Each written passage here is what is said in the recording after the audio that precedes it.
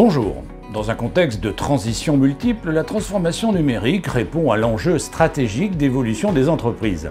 La région propose à 100 PME non industrielles de Nouvelle-Aquitaine de bénéficier d'un accompagnement comprenant une sensibilisation à la stratégie de transformation numérique et au numérique responsable, une analyse de la maturité numérique et de son potentiel de transformation sur la base d'un diagnostic de deux jours, un plan d'action de la stratégie de transformation numérique sobre et et des recommandations dans la mise en œuvre opérationnelle de sa stratégie.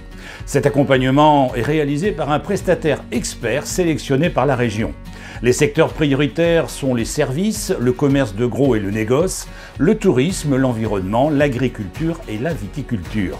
Les entreprises dont la candidature est retenue seront en parallèle orientées vers le campus régional de cybersécurité et de confiance numérique Nouvelle-Aquitaine afin de réaliser un diagnostic de maturité cybersécurité intégralement pris en charge par la région.